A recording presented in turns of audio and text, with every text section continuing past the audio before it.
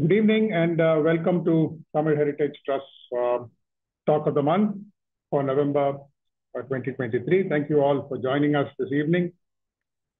Uh, a brief introduction to uh, Tamil Heritage Trust or THT as we refer to it. Uh, for those of you who are new, THT was set up as a not-for-profit in 2010 with the objectives of understanding, appreciating, disseminating, and celebrating India's rich and varied heritage. Uh, towards this, uh, we have a number of events and programs. The, the, the, the, main event that you, you're all familiar with is the monthly heritage talk, which happens online in English on the first Saturday of every month. We also have a monthly heritage talk uh, in person and hybrid uh, held in Chennai in person uh, in Tamil on the third Saturdays of every month. Uh, apart from that, we have uh, more in-depth programs. One is called the Pechu Kacheri, which is coming up in December again, uh, which coincides with the with Chennai's Kacheri season or the music season, where we talk of, we have a two-day program with 10 expert speakers speaking on a range of topics. Um, we also launched the Indology Festival a couple of years ago, and this is a one week long festival of talks on a specific topic uh, in depth. Uh, for instance, in 2021, we had the Vijayanagara dynasty. last year, we had temple builders of medieval India. And this year in June, we had uh, India and the Sea, Sagara Sangamam in India and the Sea, where 14 speakers spoke on, uh, took us on a fascinating journey along India's long coastline to discover the influence of Indian trade across the oceans. All our programs are available for viewing on our YouTube channel. Uh, uh, those of you who are new to it, please go and check out there are more than 200 odd uh, videos that you may want to peruse. Uh, and please do subscribe to the channel so that you will, you will receive notifications for future events as well. Uh, we conduct workshops uh, in Chennai, uh, the How to See a Temple workshop is a particularly popular one. In fact, the next edition is to be held tomorrow uh, here in Chennai. Uh, we also run a, a, a, similar workshop for how to see a museum uh, with the Chennai Museum here and workshop on scripts like Pallava Grantha, etc. Uh, we conduct a site seminar, which is a slightly larger workshop, which involves visiting monuments and sites of historical and heritage importance in the country uh, with a great degree of preparation by all the participants. Uh, we have a program for uh, uh, uh, enabling teachers to take the word of heritage to, to their students through heritage clubs. It's called Alamaravai, and the second batch of teachers are being trained in the current in the current month and soon we will have a, a new set of uh, heritage clubs across schools uh, in, in, in Tamil Nadu. Uh, we give away awards.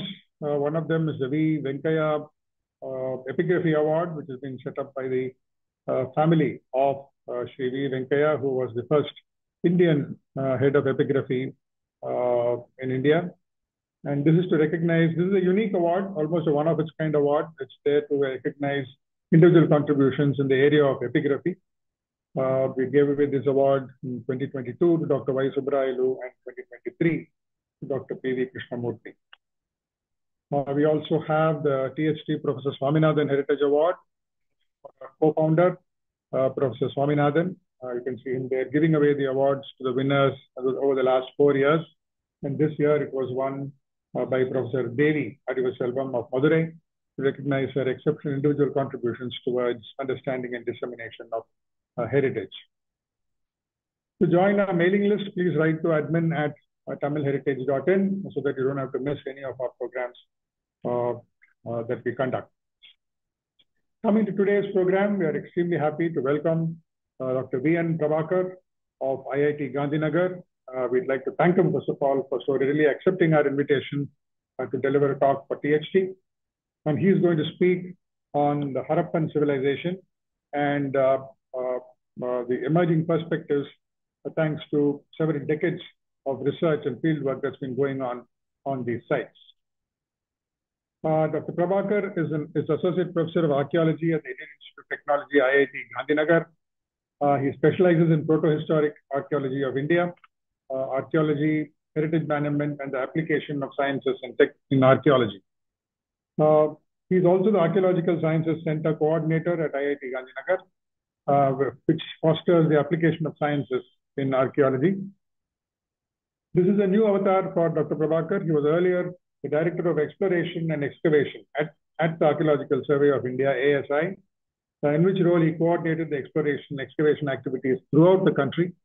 Uh, he was subsequently the Director of the Institute of Archaeology, which is the academic wing of the ASI.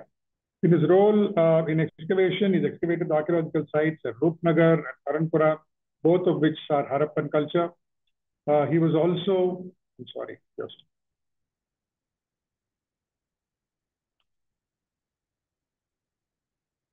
He was also responsible for the exploration and excavation, conservation preservation of 166 nationally essential heritage structures, including the World Heritage Sites of Ajanta and uh, Ellora Caves. Uh, Dr. Prabhakar obtained his PhD from the Kurukshetra University, India, uh, and he has published over 40 research articles in journals and has edited books and conference proceedings. Uh, we are delighted to welcome Dr. Prabhakar. Uh, over to you, sir.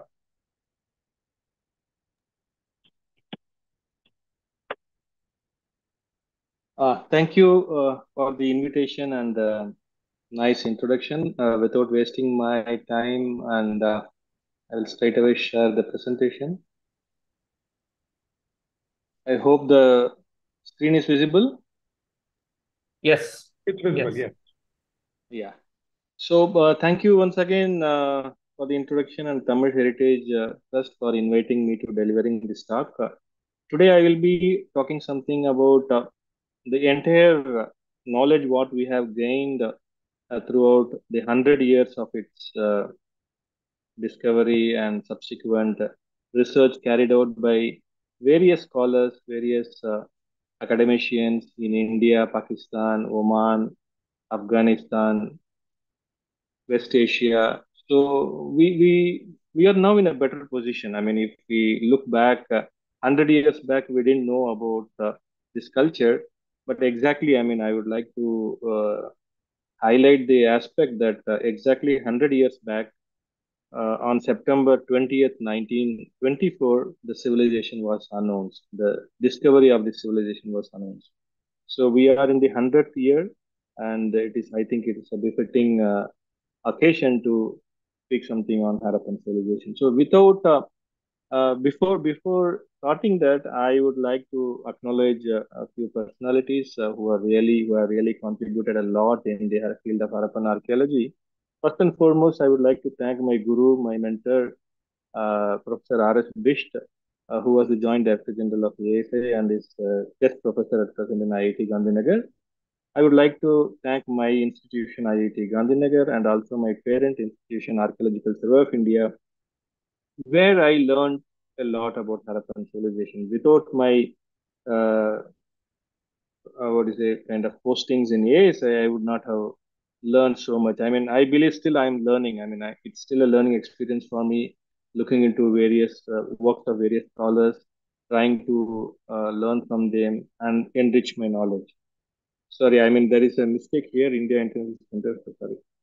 So I, would like to also thank uh, Professor Mark Kenoyer, uh, Randall Law, and all the scholars, I mean, who have really contributed because it's this presentation, it's not uh, only my work, but it, it includes uh, results from various other scholars. So as I told earlier, the story starts somewhere in, on September 20th, 1924. Sir John Marshall, the Director General of Archaeology, after evaluating the findings from Harappa and Mohenjo-daro, he understood with the aid of uh, Indian archaeologists like Dayaram Sahni, uh, R.D. Banerjee, uh, K.N. Dikshit, and so many senior archaeologists. So he understood that these excavations from Harappa and Mohenjo-daro, they belong to a single culture. It's not that they are uh, separated from each other, even though they are separated uh, from each other by a geographical distance. So he understood the uniqueness of this culture, the similarity of this culture, so he announced, he announced in the Illustrated London News on September 20th, 1924. So So it was a it was widely circulating throughout the world, and immediately in the next week itself, uh, September 27th, 1924, Professor A.H. Sayce, who was working in West Asia and he, who was also looking into the work of de Morgan at Susa, an Elamite site in, in uh, Iran, southwestern Iran. So they realized that Harappan seals, they are found in a datable context in the West Asian site, and they date back to uh, second, third millennium BCE. So immediately the chronology of Harappan civilization uh, got a firm footing. Previously, it was understood that uh, the Indian history doesn't go uh, go back uh, the sixth century BCE, but there were several speculations when the civilization was discovered. Sir John Marshall himself he proposed a chronology of uh, 3500 to 1500 BCE, but ultimately these findings from a datable context from West Asian sites gave a firm footing. Subsequently, on October 14th, uh, 1924, C.J. Gadd and Sidney Smith, they published furthermore concrete evidence of Harappan presence in West Asia in a datable context. So that's how the story begins. And uh, if we look into our own state of affairs in 1947, when we got independence uh, and we uh, when two nations were born, so all known sites they went to Pakistan, right? Only one site, known site, uh, that is Rangpur, it came into India. So this was the picture in 1947. Uh, everyone can understand uh, our own history dating back to third millennium BCE, and we didn't have any remains of that. I mean, at that particular point of time.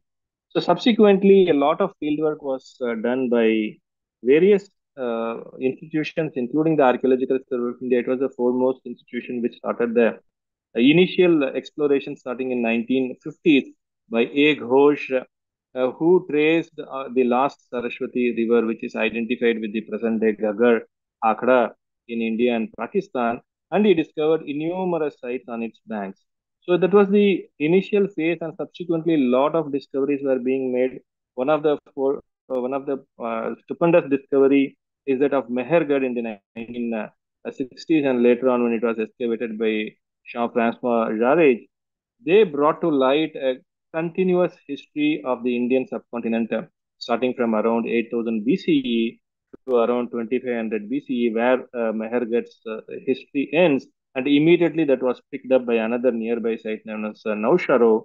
Uh, that uh, lasts through the entire Harappan civilization. And after that, uh, Pirak and Sibri, they continue uh, the uh, chronology up to the Iron Age and the early historical times. So we have a continuous history starting from around uh, 8th millennium uh, uh, BCE, and uh, and we have a lot of evidences from this site of Mehrgarh, where we have evidences of an early food producing era. I mean, we all started uh, settling down around uh, 12,000 uh, years back towards the end of the last ice age because certain climatic conditions induced the humans to settle down and uh, they were also started to domesticate plants and animals.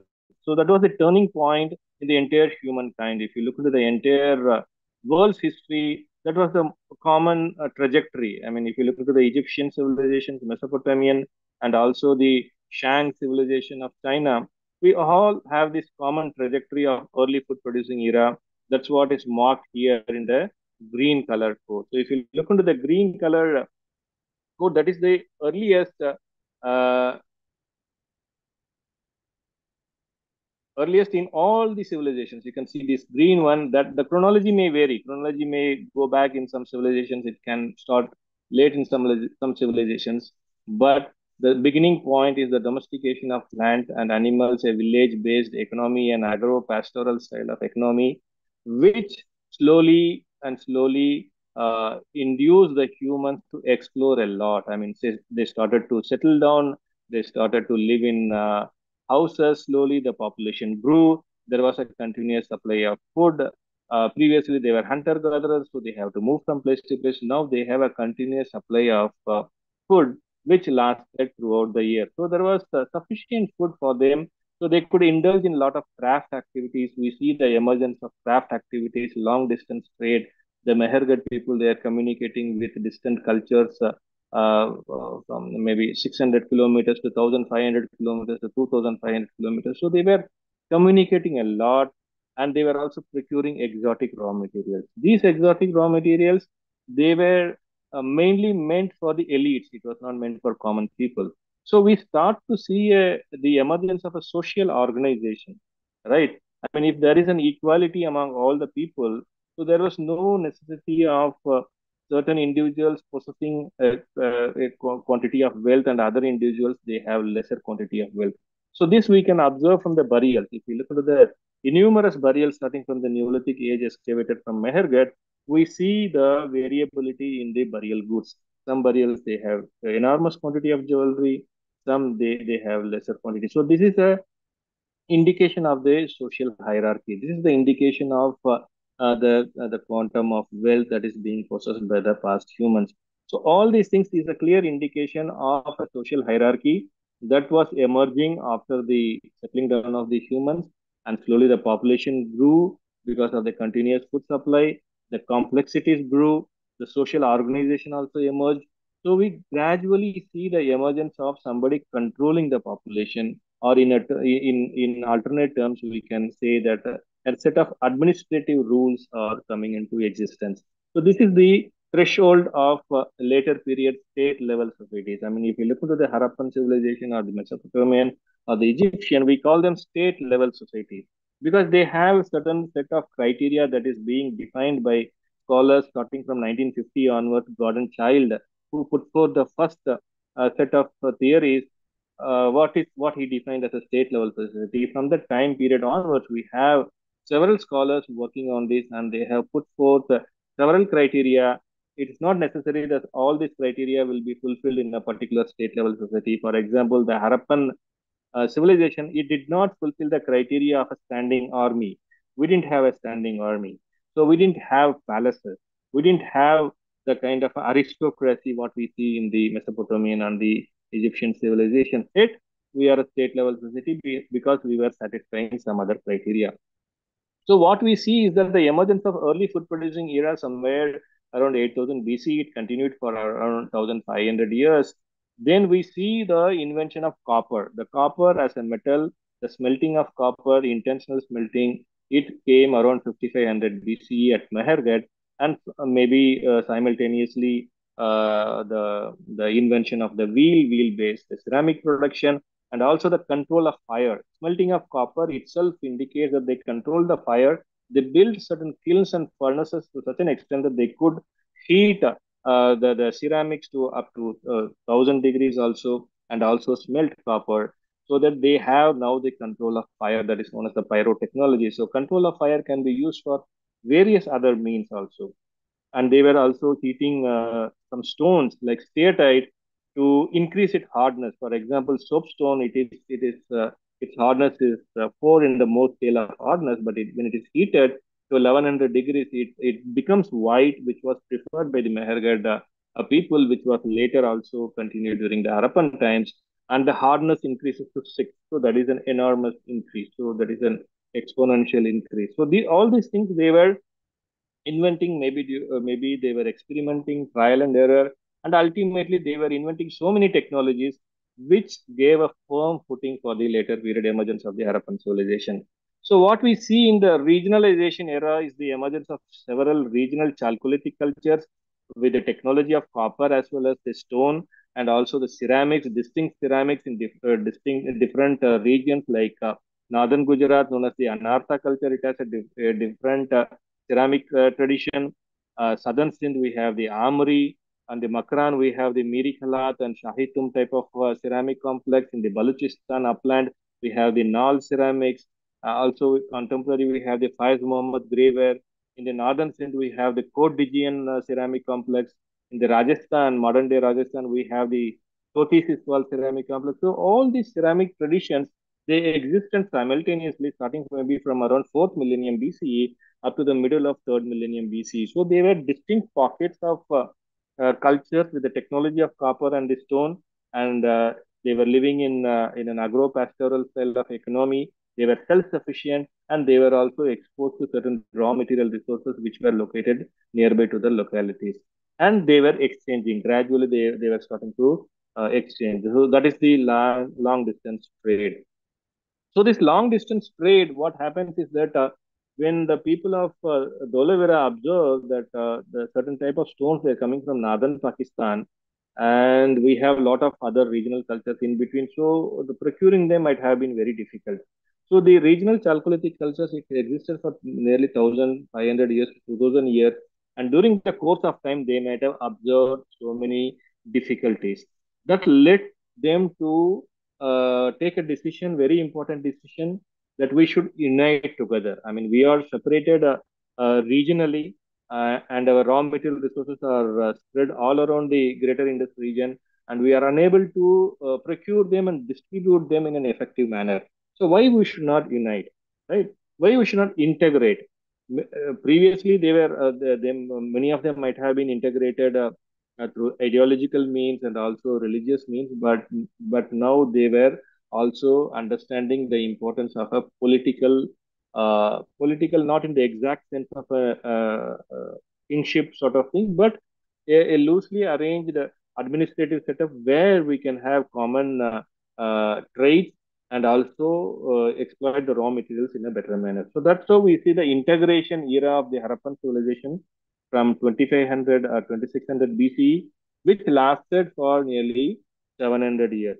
And during these 700 years, they had a distinct uh, tradition. When all the previous ceramic traditions were discarded, even though some many of them continued in, in a very uh, rudimentary form or in a very subtle form, but they have newer elements which were found in all the entire gamut of the Harappan civilization. Some estimate the Harappan civilization from 0.7 million square kilometers, some estimate 1.5 million square kilometers. But this entire civilization had a, had a distinct uh, ceramic tradition, weights and measures, seals and sealings, the writing system, the standardization of the uh, bricks, the ceramic styles, the paintings on the on the ceramics, the jewelry tradi- traditions, shell shell uh, bangles, shell uh, uh, artifacts. So all these things put together, it forms the Harappan civilization or the Harappan culture. It's not that one element will represent Harappan culture. It's all putting together. It is the assemblage that is put together. We call it as the Harappan civilization, and that lasted for nearly 700 years up to 19, 1900 BCE. So after 1900 BCE, what happened? It's really a, a complex uh, scenario uh, that uh, recent studies uh, it, it, uh, indicate that there was a long drought period starting from around 2100 BCE.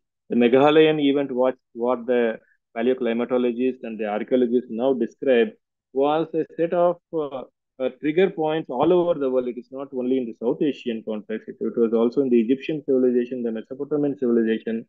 There were certain climatic changes which happened and which triggered a series of uh, drought conditions. Uh, that could have been uh, lasted for five years, 10 years, but again, there could have been intermittent uh, rains in between. It was not a continuous drought, but it was a prolonged drought. There were uh, good phases also in between, but ultimately, it was forcing them to think in different terms.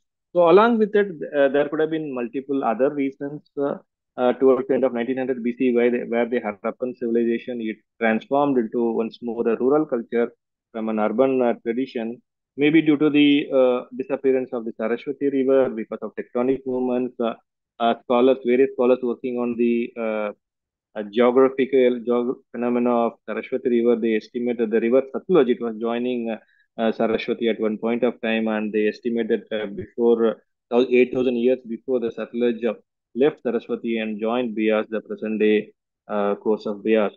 But uh, what we what we see is that uh, uh, the the present day course of Satluj and Beas combined to, together, it it doesn't have any Harappan site. But if we look into the older course of Beas, there are lots of uh, Harappan sites. So there there is some uh, some uh, uh, disagreement with the with the geological data as well as the cultural data, which can be solved in the future. So, so to sum up, so from 1900 BC onwards, we see uh, the transformation of the Harappan culture into a, into rural culture and what we call it as the late Harappan uh, uh, tradition that is represented by several regional cultures like the Jhukar culture in the Sindh, uh, Rangpur, and the Redware culture in the Gujarat region, and the Bada culture in the Punjab and Western UP. So this is the long history. And if you look into the uh, red portion, which is highlighted here, that is the urban phase.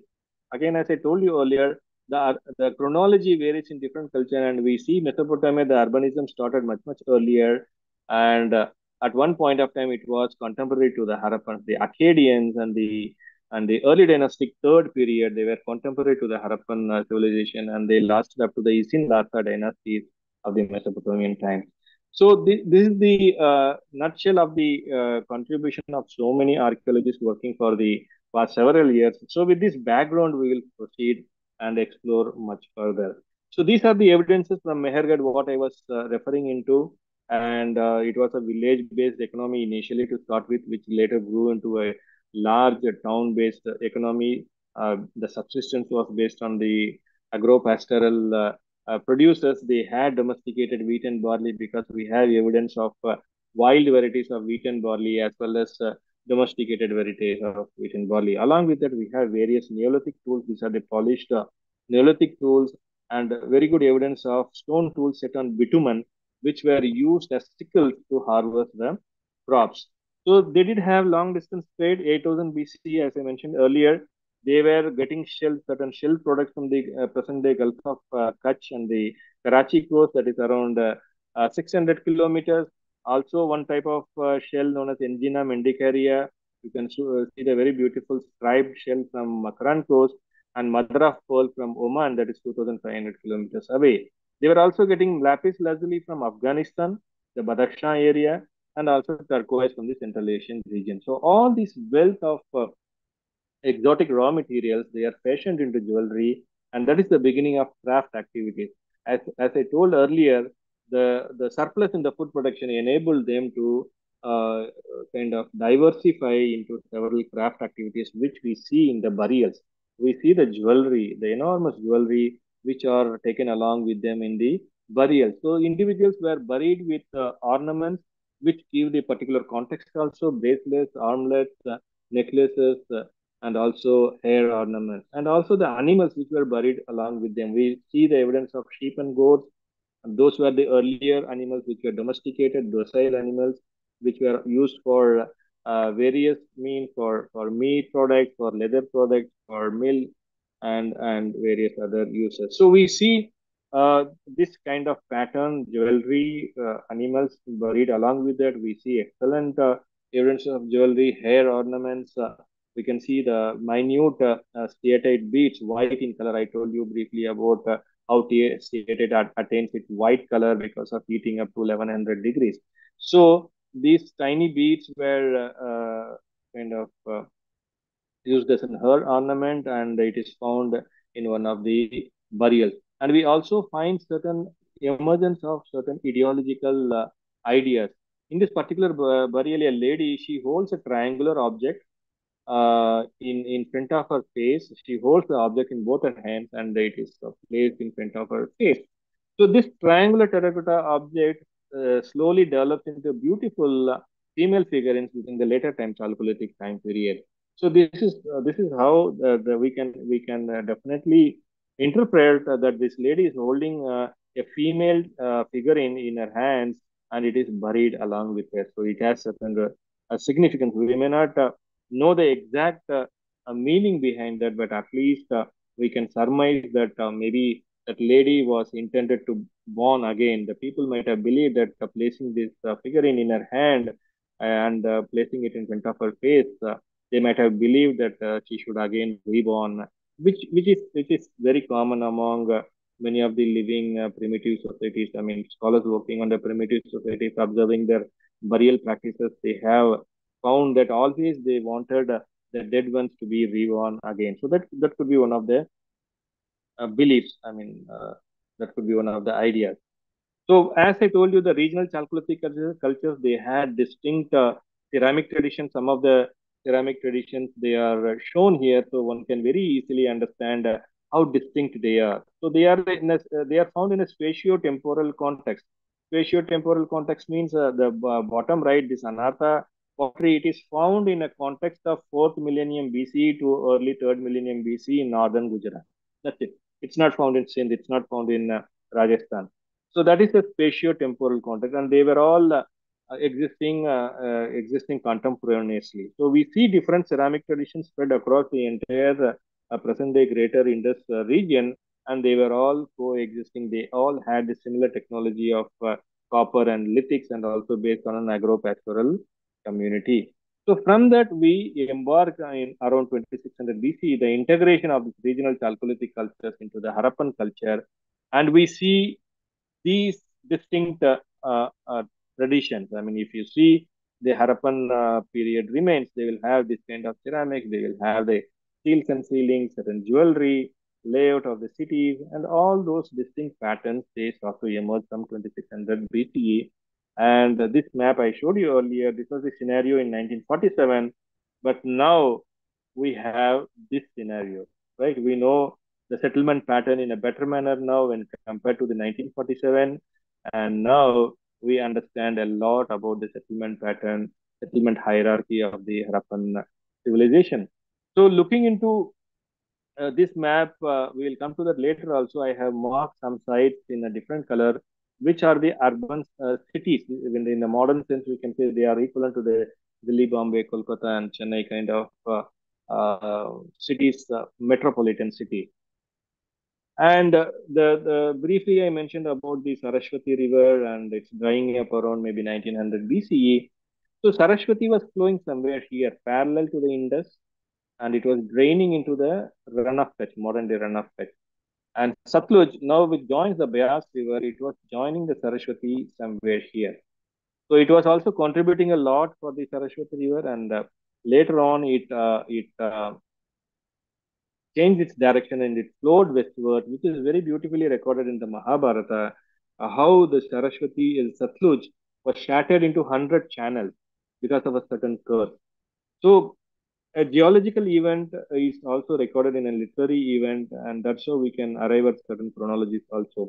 So uh, we also see from the Rig Veda that uh, Saraswati dried, might have dried up around 1900 BCE uh, because the early early Vedic literature, the Rig Veda, it glorifies Saraswati, but the, from the later Vedic literature onwards, we we already notice that the Saraswati river has, has disappeared. And during the Mahabharata times, we have the very famous story of uh, Balarama tracing the uh, retracing the course of river Saraswati from its Sangam, from its joining with the sea, that is the Rann of Kutch. From there, he he moves upstream and he sees the river at, at certain pockets, it disappears at certain areas, it is only a slushy marsh and it uh, completely disappears. That is known as Vinashana. He, he mentions a place, Vinashana, where the river completely disappears and he still moves further and ultimately uh, sees the river flowing in, in uh, Haryana region, maybe the Kurukshetra region.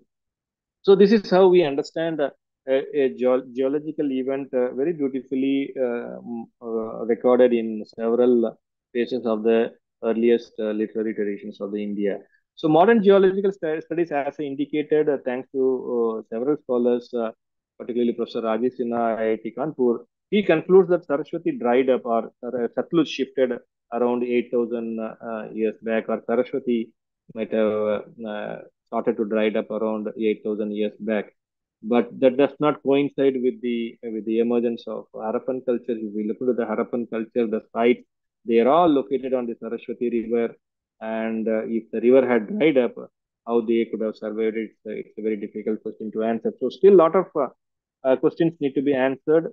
But the remote sensing uh, uh, investigations, they have helped a lot in locating uh, the dried up channel of the Saraswati because there are a lot of theories floated by many historians and archaeologists about the mythical Saraswati. Some say it is not at all uh, true that the Saraswati existed. Some say it is located outside India.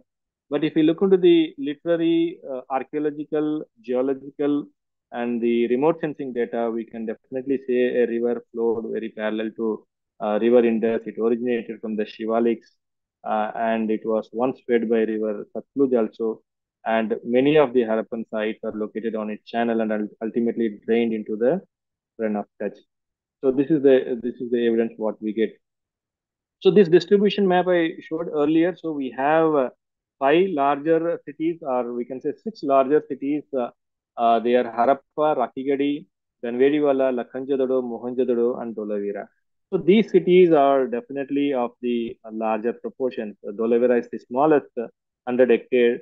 Uh, Ganweriwala may be equivalent to that. And all the remaining four sites, they are mega, mega cities in, in a way. They are uh, 200 hectares and uh, in excess. So looking into the uh, settlement hierarchy, we can definitely uh, divide the settlements into cities, larger towns, smaller towns, villages, and hamlets with varying uh, area of occupation. We, ha we have a better chronology of the entire uh, uh, urban phase as well as the preceding uh, regional Chalcolithic cultures and the succeeding late Harappan phase. So we have a, a better chronology due to the radiocarbon dating techniques, which have really helped us a lot. So these are some of the uh, important uh, important cities and the sizes what are mentioned here and uh, the examples of uh, uh, regional towns, smaller towns, uh, very small size villages and hamlets. And looking into the location of the cities, they might have thought of something, I mean, administratively, because these cities are located at least 400, 500 kilometers from each other uh, that indicates something on why these should, cities should be uh, separated by 400, 500 kilometers. And they are located in different geographical zones of the Harappan civilization. So it clearly indicates that there could, they could be the regional centers of power. In other uh, sense, I mean, Professor uh, Mark Kenoyer, he says they could be city-states in the, in the sense of the Mesopotamian city-states before the Akkadian Empire came into existence. So there were regional centers of power which could have catered to a huge hinterland. Professor Mark Kenoyer estimates to 160,000 to 170,000 square kilometers of hinterland. Each uh, each major uh, city might have been uh, administrating in a, in a loose sense, but they were procuring the raw materials, redistributing them, managing various commercial activities, and also trading amongst themselves. So looking into this scenario, we can have these kind of administrative setups. I mean, departing slightly from uh, uh, uh, provincial empires or provincial uh, regions, uh, I have tried to visualize into more centers instead of four or five centers. There could be much, much more centers because we have a larger city supported by regional towns and smaller towns. So if we put all of them together, we see a, a, a kind of pattern emerging due to due to which these the cities and towns might have administered in a, in a better manner to, to communicate with uh, between each other and also to procure and redistribute the raw materials. So among these uh, Harappan sites, we have two of them inscribed in the World Heritage List. Uh, one is one is Mohenjo-daro that dates back to 1980. During the initial phase itself, it was uh, inscribed in the World Heritage List, followed by Dholavira, which was inscribed very recently in 2021. So coming to uh, how the urbanism came into being, right? I told briefly about certain criteria put, put forth by scholars for the emergence of state-level societies. So uh, Mark Kenoyer, he uh, proposes these four criteria for the Harappan civilization. One is the subsistence economy, that is diversification. It means they were not dependent upon only the summer crops or the winter crops. They were having options of both summer and winter crops, which was also based on agro-pastoral lifestyle. They had both urban and rural ways of lifestyle and also producing a surplus. So surplus in food production was the very basic uh, necessity for the emergence of a state-level society. So we see very good evidence in the Harappan uh, civilization. The second is the socio, social and economic trade networks. I mean, where the raw materials, it is a very skewed distribution. If you look at the copper resources, it is located in the northern Aravallis and southern Aravallis. Beyond that, there is no copper. Otherwise, one has to go to Balochistan or Oman. So how this can be procured and uh, uh, redistributed in a proper manner. So this, this social and economic trade network was uh, very essential and uh, that led to the better management of resources. Uh, some of the examples are agate carnelian from Gujarat reaching Harappa and steatite from Hazara deposits of northern Pakistan reaching Dholavira. The third one is complex technologies. We see emergence of very different uh, complex technology. One, one example is this kind of stoneware bangle uh, technology, which originated during the Harappan culture and disappeared along with them. I mean, we, could, we are unable to even reproduce them with the modern uh, technology also. So how these technology could have catered to certain elite. So this kind of technology Similarly, agate carnelian jewelry. This kind of jewelry, they were produced only during the Harappan time. Before and after, we don't see this, kind of uh, jewelry. And also differential social hierarchy. So this social hierarchy, I briefly touched upon during the Mehrgarh uh, phase. So that was very much essential. This uh, the the headman or the clan leader or the tribal leader.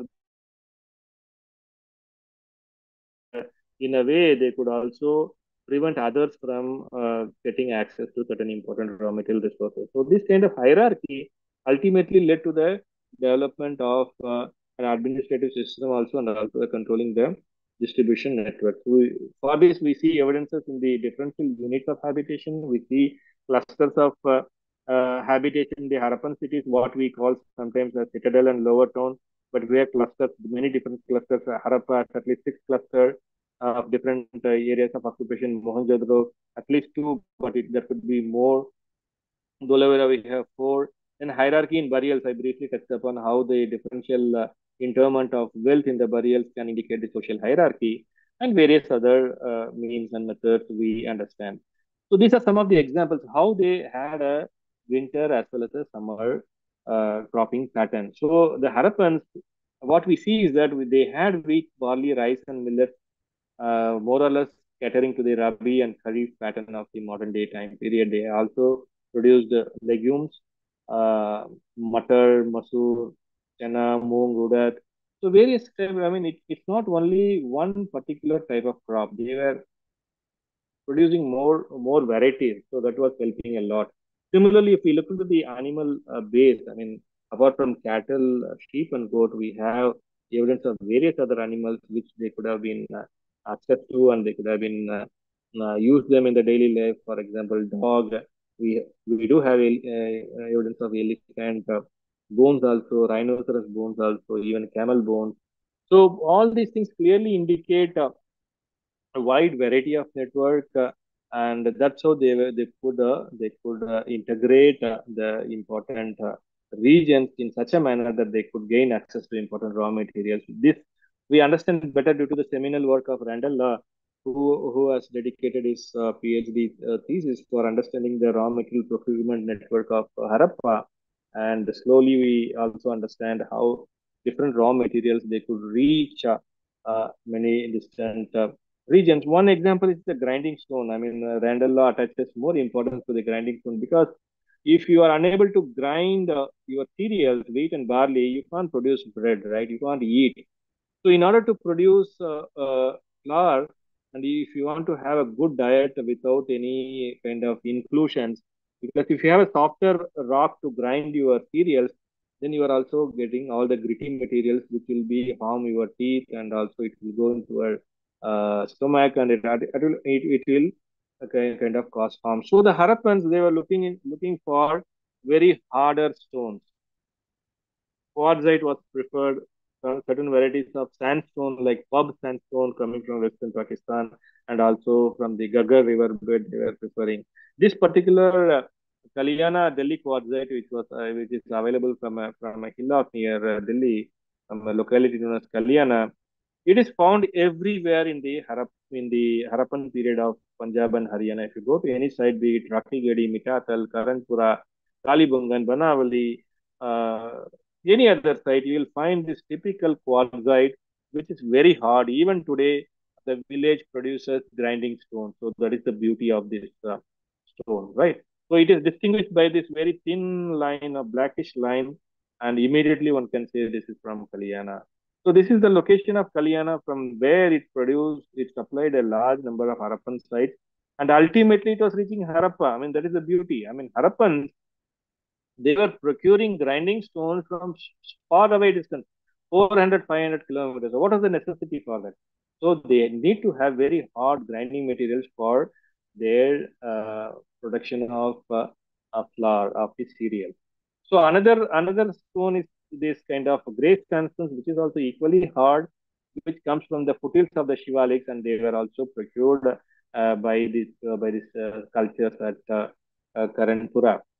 So the second criteria is the social and economic uh, trade networks. I mean, what we uh, what we saw is that I mean how they were controlling the different uh, uh, economic networks. So the one particular evidence was given in the case of uh, agate carnelian resources. So agate carnelian it is found only in the in, a, in Gujarat region. This is the Ratanpur Rajpipla mines, and these are the Kandik, uh, Kandik area and the Mardak bed. So analysis again by Randall Law clearly indicates that uh, these stones were uh, procured from Gujarat and ultimately supplied to the uh, Harappan sites of Chanhudaro, Mohenjo-daro, maybe Harappa. Another very important uh, resource material is the copper. So we do have copper near the Ambaji uh, Sendra belt, uh, which is the southern Aravalli region in Rajasthan, where this copper was mined even very recently by the Gujarat uh, government and later it was abandoned because uh, the, the percentage of copper, it went down very, uh, very much. So these abandoned mines, we can still see the presence of green color stones which have traces of copper. And from here, the, the got the copper. And uh, the uh, coming to the third criteria, which is the complex technology. Uh, one of the complex technologies is the production of this kind of uh, uh, pillar bases and pillar elements which cater to only the elites. I mean, these pillar elements they are found only in the in the gates of Dholavira. You can see one of the uh, pillar element kept in my background that is from the east gate of Dholavira and uh, this this kind of pillar base uh, pillar elements they were produced from a site three kilometers northeast of Dholavira, and they were uh, uh, they were then transported to the site of Dholavira. There they were polished and smoothened to extraordinary fineness, and later on they were fitted in as architectural elements in the gateway. So many of them they were also transported to Mohenjo-daro and Harappa. I mean, imagine Dholavira is on an island in the Rann of Kutch. From this uh, island in the Rann of Kutch, they were transporting these huge pillar elements weighing nearly 200, 300 kilograms to Mohenjo-daro and then to Harappa. So understanding uh, this kind of uh, complex transportation is also very, uh, very much uh, uh, awe-inspiring. So another technology, what we see in the case of Dholavira is the uh, is the these kind of uh, tanks and uh, reservoirs what they produce. I mean, some of the reservoirs they are rock cut. We can see here the southern series of reservoirs at Dholavira, it was completely rock cut, and they were uh, they were diverting the water from the nearby stream and they were storing it. Uh, and this is another reservoir which is uh, much much larger. I would say this is the largest uh, reservoir in the in the Harappan uh, time period. And it also had a step well. This is the earliest step well uh, they dug into the into the bedrock that, that when the water level was reached after excavation it still produced some sweet water. So the Harappans, they had enormous uh, understanding of, uh, of uh, the, the catering to the climatic conditions and also uh, harnessing the rainwater. So one more uh, complex technology I told about the bead drilling technology. The Harappans, they had a particular stone known as ernestite. I mean, we are unable to know its geological provenance, whether it is natural or man-made, we don't know. There are several views on this, but it this mineral, this uh, this stone, it has uh, titanium oxide phases and also sillimanite and mullite phases, which clearly indicate that it was heated to very high temperatures, uh, maybe around 1200 degrees centigrade. And the titanium oxide phases, it gives a very hard uh, surface, which was helpful in in perforating the uh, stone beads. And they could produce these kind of uh, jewelries uh, this is the decorated cornelian bead, which is also known as the uh, etched cornelian bead. These are the long barrel uh, uh, beads which were used for making this kind of waistbands. And we get uh, the evidence from this terracotta figurines. You can see the waistbands uh, here, and this is only meant for the ladies. And these two were traded extensively to the Mesopotamian region. And these are the ernestite drill bits which I documented from the site of Dholavira. We have an enormous quantity of uh, drill bits when compared to other sites, which clearly indicate that Dholavirans uh, might have been uh, uh able to uh, gain access to this particular kind of raw material in a better manner when compared to other other places. So when comparing uh, Dholavira and Harappa, at Dholavira we have 1586 uh, drill bits, whereas at Harappa it is around only around 65. So we also looked into the surface modification of this drill bit, how uh, they might have been used for perforations and how the perforations induce certain surface modifications uh, also. So in comparison to the modern bead making uh, tradition at Khambat, they were they, they are still using the same kind of mechanism by chipping this kind of chipping with a with a technique known as the inverted direct uh, indirect percussion uh, technique, where they they uh, they chip the stones initially to produce a rough shape, then they polish it uh, with a emery wheel, which was not in the case of the Harappans. They have to uh, polish the beads for nearly 45 days, putting them inside a leather leather bag and rolling it for 45 days they, they, they were also heating the agate carnelian to, to remove, remove the humidity, to remove the water content, and also to achieve the typical reddish color. So this modern uh, um, bead making industry at Khambat, it gives certain insights, uh, but it is also a dying tradition. So this, uh, some of the raw materials, they were procured in Gujarat and they were ultimately traded. I mean, one for this one excellent evidence, uh, it was pointed by Professor Mark this kind of uh, banded agate from Dholavira, it has its exact similarity at Harappa. Not only that, a, a bead was produced out, out of this uh, uh, banded agate, and the bead was found in a burial, and the raw material was found in a bead workshop in the habitation area. So this is a wonderful evidence from where we can understand the trade network and how it was uh, from one place to another. So another very good example is the stone uh, bangle, stone ware bangle, because uh, that even though it is made of clay, it was prepared in such a complex technology and heated to very high temperatures. Uh, the, the clay slightly vitrifies and becomes resembles a stone. So these these bangles they are found in very uh, limited number in the in the in the Harappan context, and uh, it is only restricted to Harappa, Mohenjo-daro, and uh, very recently now we have found in uh, also and also the ideological transmissions and also the, the kind of jewelry what the Harappans they were wearing. So one one particular instance is this uh, so-called priest king where he wears uh, one kind of a fillet with a with a eye bead here. So very similar to that, they have found Professor Mark and have found the eye bead from uh, uh, from Harappa, and these kind of fillets they are already known. From Dholavira, we have a copy of this. Instead of a golden eye bead, they have produced a copper eye bead, but they could have finished the copper in such a manner that it could have resembled gold. And it was inlaid with a steatite, which is white in color. So it could have produced a very beautiful uh, appearance. Uh, we do have excellent evidence of architecture. Uh, uh we do have uh, the well laid out uh, cities and towns, and Dholavira in particular, it has a very good very good layout with uh, with ratios and proportions. So this is how each and every uh, part of the city it has a very well laid out ratio and proportion. And they had a very very elaborate arrangement of hierarchical arrangement of these individual units. if we take into the castle of uh, Dholavira, it has an elaborate security arrangement. It cannot be reached very easily.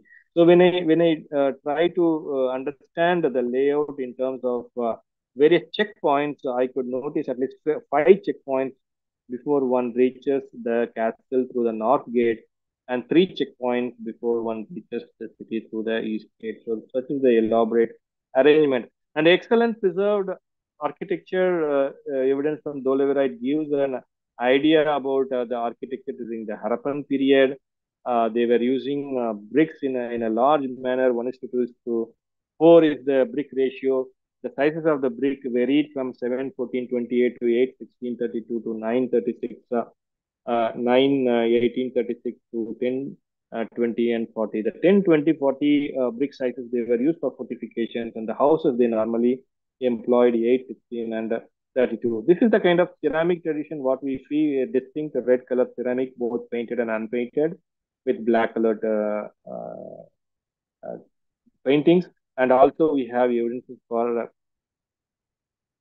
transportations. I mean, from the uh, from the chariot, uh, single person driven chariot uh, drawn by the bulls to complete uh, carriage vehicles and also boats and ships. So this this kind of evidence clearly indicate that they were trading a lot. they are using the road network and the uh, river and the and the sea network a lot. So the trade network is supplemented by the use of seals and sealings. They were basically recording uh, the, the the maybe the guild or the person who is trading, and it normally had the unicorn and the Harappan script at the top with the manger in the in the front. We do find uh, circular seals. They are very few in number, but they they come in a later period context of 2200 BC onwards, and it seems that Bahrain was the main area from where the settled Harappans or the Harappans trading with the Bahrain region might have been uh, uh, the reason for behind for producing these kind of uh, uh, circular seals because these seals they have the typical Harappan buffalo, water buffalo with the Harappan script, but it is only it is circular in shape. So that is the only change. And uh, the, the, the weights and measures from uh, various sites, it clearly indicates uh, a well, well proportioned and standardized weighing pattern which progresses in the binary system and the weighing pattern, it could have emerged from various grain weights and the very closest is the Gunja seeds, uh, which uh, which uh, varies from 0.109 to 0.113 grams. And eight such grains it is the first weight ratio of the Harappan system of Temi. So we what we see is a very close connection between the grain weights and the uh, Harappan weights, even though we have seen uh, even smaller weights in the case of Dholavira. Dholavira, the smallest weight is around 0.5 gram and the largest weight is around 13.67 uh, kilograms. So we have a we have a very good weighing system which clearly caters to the uh, uh, trading of uh, very precious uh, uh, objects like gold to maybe they were weighing also grain. So the copper metallurgy is one another important aspect, uh, and we do find a very a series of objects starting from arrowheads to needles to to pins to kohl sticks to weighing pans to vessels to to mirrors, chisels. also we have a wide variety, wide variety of um, the copper objects. Very interestingly, from a site known as Bagasra in Gujarat, they had a razor. I mean, razor used to shave, right?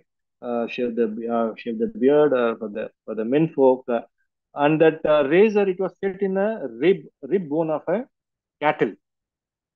So they were picking up the rib rib of a cattle and they were fitting the very fine razor into the cattle and this and the shape of the razor also resembles a modern day one. I mean one can one can really wonder how the the, the shape also travels a lot uh, in in course of time. So scientific analysis uh, of uh, the copper objects lead silver through a technique known as the lead isotope analysis also helps in pinpointing the provenance of this uh, uh, of this metal. So Randall Law who did this analysis uh, uh, tries to find out from various regions, and in particular for Gujarat, the copper came from the Ambaji Sendra belt. So they did have exquisite jewelry in gold. You can see these uh, exquisite jewelry in gold and shell objects. They produced enormous quantities of shell bangles. Uh, Bagasra, again, it yielded a complete shell bangle stacked in one place, uh, having 2000 um, bangles at one place. And they were also producing this kind of inlays. They might have been stitched on cloth producing very beautiful pattern. Imagine a dark colored cloth of a red or a blue or a black in color background and these kind of white colored inlays are fitting to produce various kind of geometrical motifs. They were also producing this kind of grooved bangles, smaller shell bowls, ladles for various purposes. So we do find a various uh, objects in, in different forms and shapes. They did also invent one particular technology known as the faience technology. Faience is nothing but early form of glass. It was produced by crushing the quartz and also adding coloring agents and a flux. And they can uh, they can get a material which can be molded into many different forms. Initially, it might have been uh, used for resembling some of the stones which are very hard to procure. For example, turquoise, one of the very earlier uh, color uh, for faience is this bluish uh, uh, green color uh, which which resembles the turquoise, which is an exotic material. They could not find it very easily, so they resemble they they they faked turquoise in a in a ceramic material, and slowly they improvised the technology to such an extent that they started to produce two different types of uh, faience. One is compact faience, and one is uh, a coarse variety of faience, and they were used for producing different kind of uh, objects. So this object is very interesting. I mean, if you look at this, this object, this is a very small jar, hardly one inch in height, one inch or one and a half inch in height. Actually, this is the kohl jar. I mean, for applying the surma, uh, for applying the kanmai. I mean, they were using galena, uh, which is the naturally occurring uh, uh lead raw material, which was used as a surma and this was also found that this is the kind of smaller bangles which are produced in a very few in number and the, the kind of importance attached to the stoneware bangles is indicated by the inscriptions. Maybe the owner, he or she, they inscribed on this uh, stoneware bangles to indicate their ownership because of its rare, rarity and also uh, very complex technology. So we do find uh, uh, various burial practices, but this one is very unique. Uh, this is a burial mound uh, closely resembling the royal burials of uh, Bahrain of the Dilmun culture. at at Dholavira, we, we, don't have any skeletal remains. So this is one of the tumulus burials at Dholavira resembling the royal burials of Bahrain. So at this time period, we do find uh, contacts with the uh, with the Mesopotamian region as well as the Bahrain region from Gujarat, and maybe certain influences might have occurred. I mean, we don't have any different conclusions, but we do find uh, this kind of evidence. Similarly, we have various other burials very closely uh, uh, resembling uh, the other Harappan times from other regions, but here there are no skeletal remains. But at other Harappan sites, we do have skeletal remains and one of the very important uh, studies uh, in which I was also formed part is the stable isotope analysis of the skeletal remains. I mean, we can uh, analyze the tooth, uh, tooth of these uh, humans from the burials and analyzing the molar, the first and second and the third molar, we can understand whether these people came from a particular region or not. So in this in this kind of analysis, lead and strontium are, are analyzed uh, lead and strontium come from the geological uh, uh, earth and it is unique to every different part. For example, lower Indus, middle Indus, and upper Indus, they have different uh, lead and the strontium concentrations. So the people residing in those regions, when they consume the plant and the animal products, uh, the very minute traces of lead and strontium, it is also uh, it is also deposited in the in the tooth remains. For example, when the when a young person who is stay, staying in the lower Sindh region, he had a diet uh, of that particular region that is uh, implanted in his uh, tooth enamel. When he when he moves to upper Sindh, upper uh, Indus region, and he starts to consume a different diet, then the then the next uh, molars or the other teeth which erupt later on, so it will have a different uh, signature. So based on these uh, uh, concentrations of lead and strontium, one can understand whether these people move from one place to another or not. So we did, it, did this analysis for uh, Sanauli, and uh, we found out that most of them, most of the people, they are from local, and from Sanauli, we do find enormous evidence of the faience industry because the faience it was initially for replacing the stone raw, exotic raw materials when the Harappan culture came to an uh, end, that it transformed into a rural culture, the trade network snapped, and they could not procure the uh, very good fine quality stones from Gujarat. So they started to produce uh, faience in a larger quantity, and they started to replicate each and every every stone.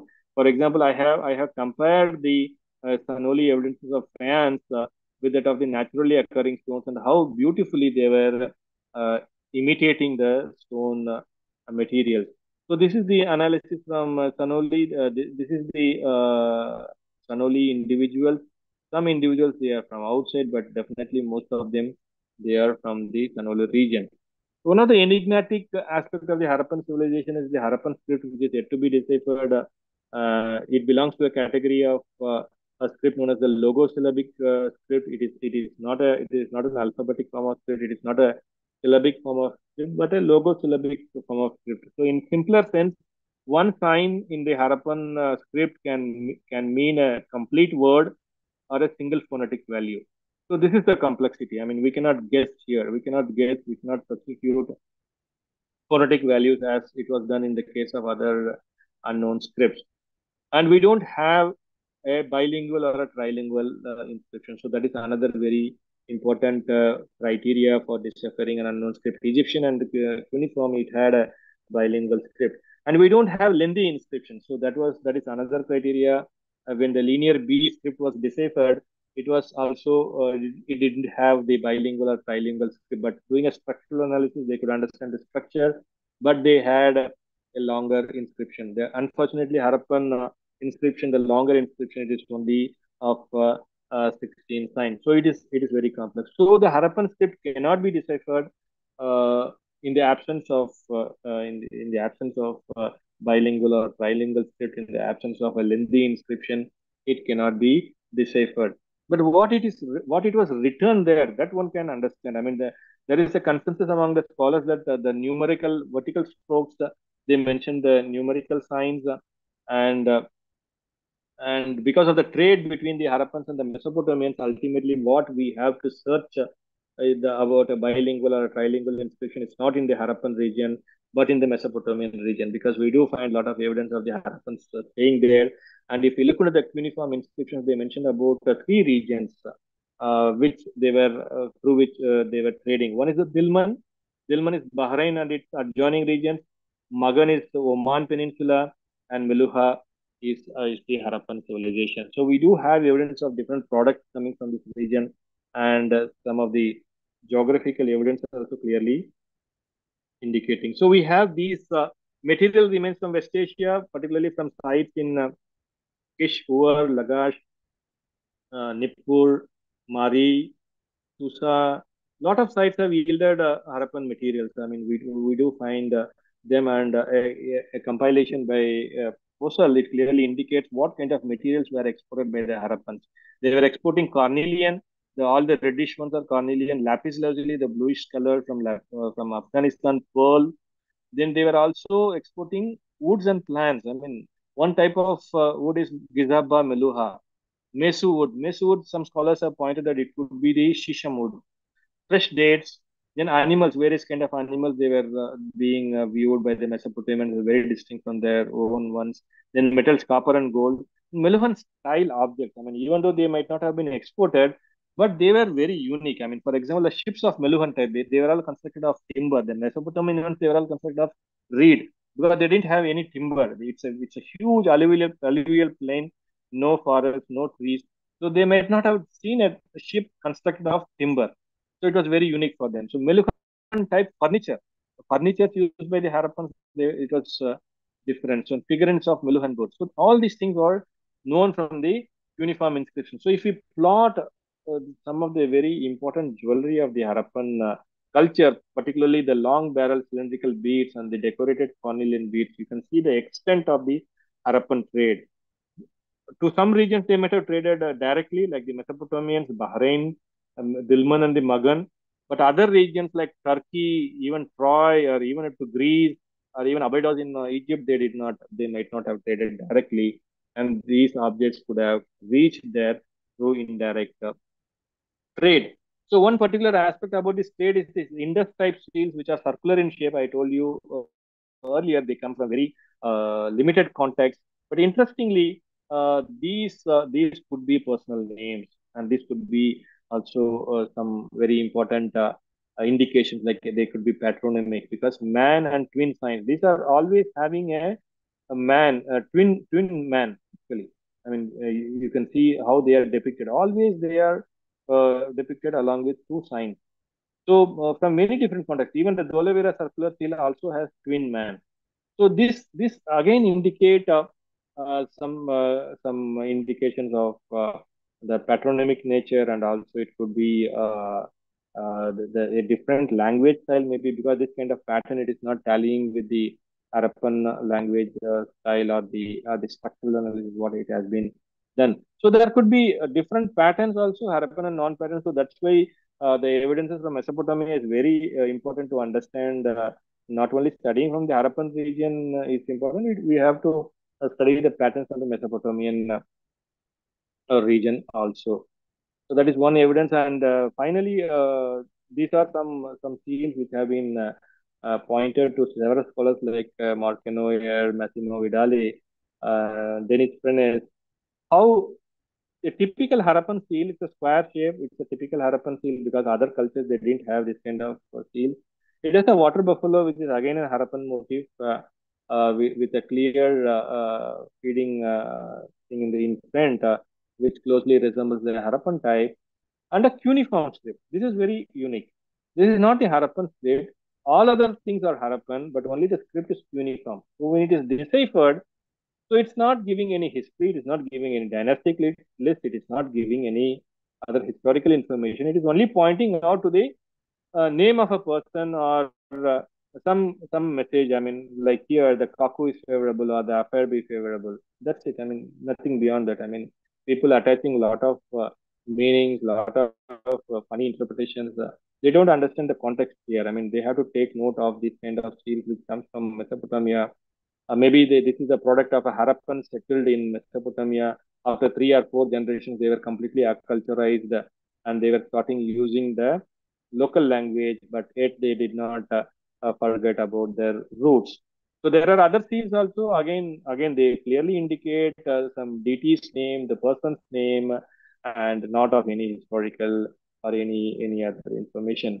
So we do find the evidence of cuneiform records from uh, Lagash, uh, which clearly indicate the presence of Harappan. One particular record, it, it, record uh, that a man named Ul, Ur Lama, son of Meluha, means a Harappan, he, he owes 41 pounds of wool, the balance of two talents, 50 pounds of wool, which he had previously borrowed.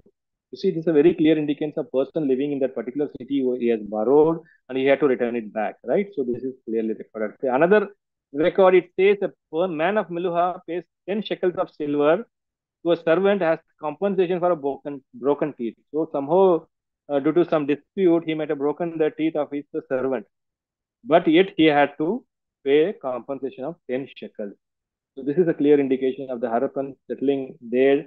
And we do find uh, this type of uh, seals very close to resemblance, resemblance with the Harappan type, but an unknown script. Again, this is coming from uh, a different region. This is from the Oman region, uh, from a site known as Salut.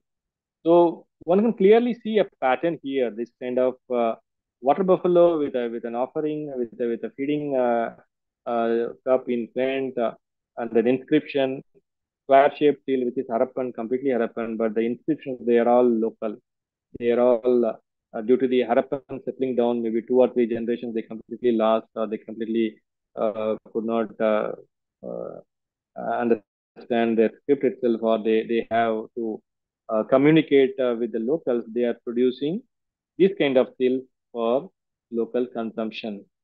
So ultimately, what the climate says, I mean, I briefly mentioned about the 4.2 uh, K event, and that that uh, tallies very well with various regions. Like uh, this is from the Mawmluh Cave from northeastern uh, India, but, then Arabian Sea core, Gulf of Oman. All of them clearly indicate a, a climatic change. But again, the Kotla Dahar evidence, it's a regional phenomenon. I mean, we do have many different regions in the Harappan uh, domain, and they also cater to different climatic uh, conditions. For example, Gujarat, it has a different climatic condition. It has a semi-arid environment. So the, the cropping pattern might have been different. So we need more and more climatic data from different regions to have a consensus. So what the present uh, uh, scenario indicate is that the 4.2K event might have triggered events, but slowly it could have transformed the monsoon regimes but uh, we don't have any evidence of sudden death or sudden decline. So that that uh, we can say. I mean, at least we can say that uh, uh, the, the the decline might have been very slow and steady, but not a sudden one. So this is the uh, post Harappan scenario or the late Harappan scenario, which I mentioned uh, briefly earlier also, where we have regional culture again. So with this with this background, what we have to do? I mean, we are in the 100th year and at many different aspects, many different threads, they are still unknown. So what we have to do in the future, what uh, steps can we take? I mean, we don't know, we, we don't have any idea about polity and organizational setup. So we need to understand more uh, about this. So we do, we have to do more hinterland uh, surveys. We have to understand the relationship between bigger and the smaller sites. And also we need to understand about the sites from the raw material ore areas how they were actually producing. So that that we need to understand. So for the Harappan script, I have uh, uh, mentioned earlier. So we need to uh, update the concordance of our Harappan script and also the corpus of Indus script and inscription. And we need to also have more research about the Harappans from the cuneiform record from the West Asia. So that is very much uh, essential. So we need to understand also the mobility, paleodiet, and paleoclimate. Uh, for that, we need to have extensive residue and starch analysis, lake profiles. We need to understand the paleo lakes, understand the past climate. We need to understand more about the other technologies because even today we cannot uh, reproduce the stoneware bangle uh, technology. And we need to also create an awareness because there's a lack of awareness uh, and that's why there's a threat of uh, a threat to many archaeological sites. So we need to educate uh, the younger minds, we need to tap them from the very early uh, part of their life, maybe from the school, we should start and try to educate them about the uh, culture and their importance.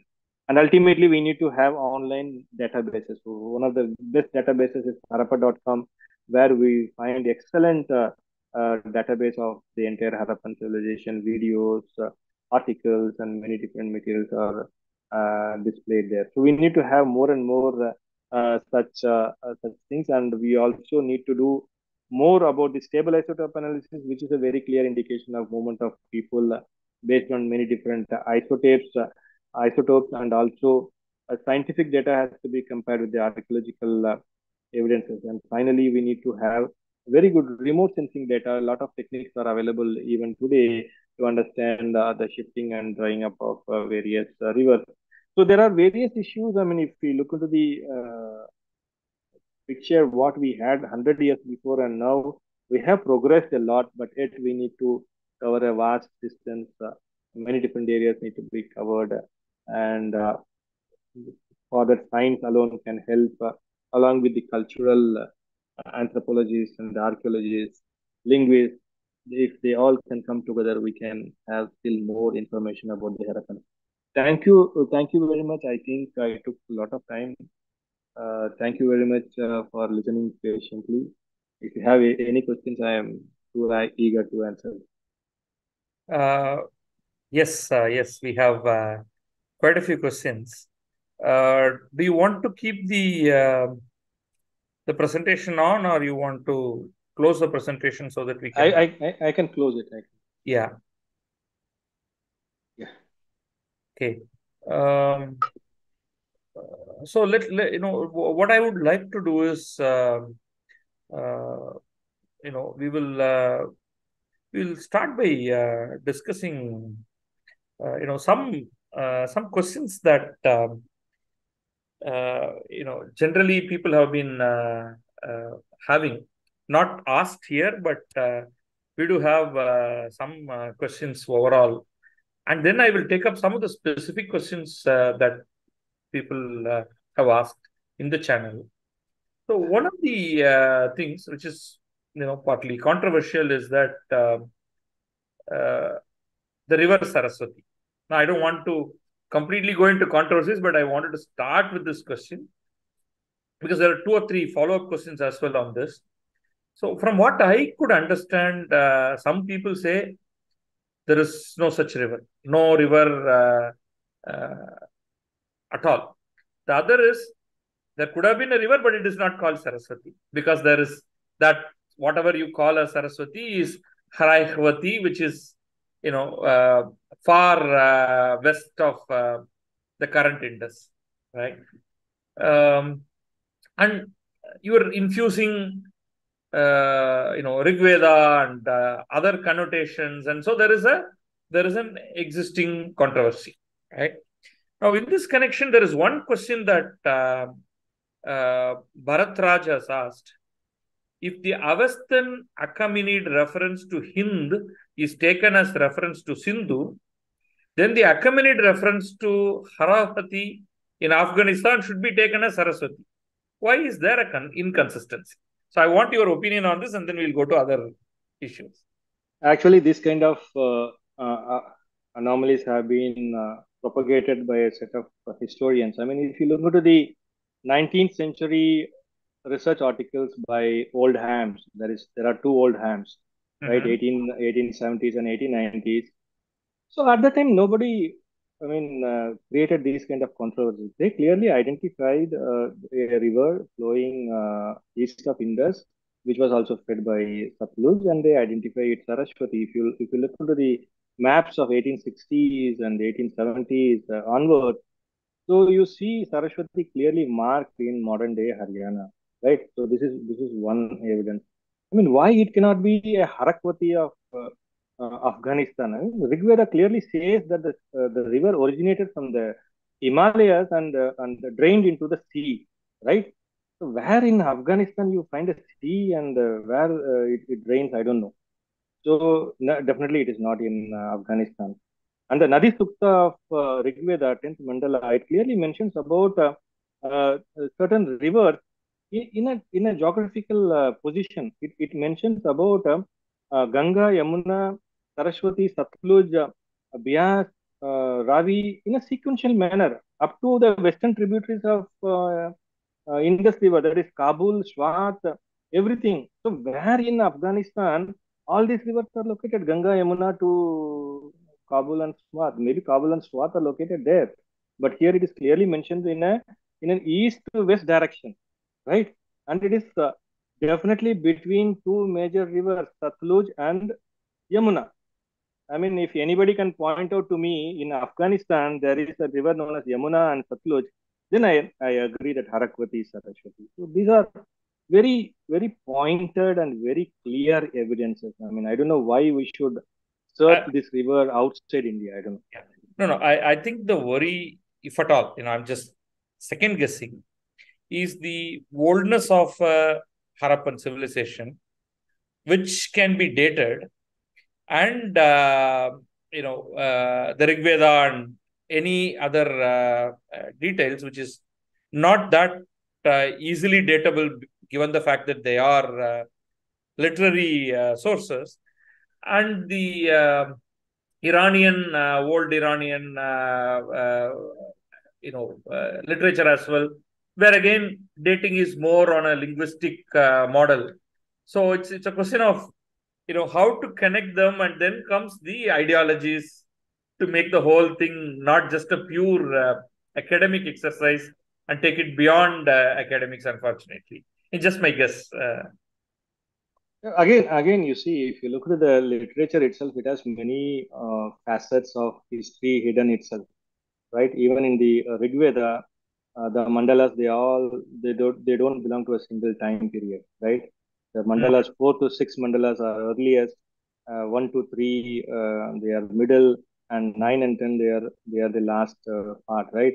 So within these uh, the internal chronologies, we do find uh, various meanings of the rivers itself, and ultimately how the how the uh, ferocious river is slowly dying out. I mean, even within the Rig Veda, my guru, uh, uh, Dr. Bisht, used to tell how within the Rig Veda itself you can find evidence uh, towards the end of its uh, uh, compilation. You can clearly see the river is slowly uh, dying out, right?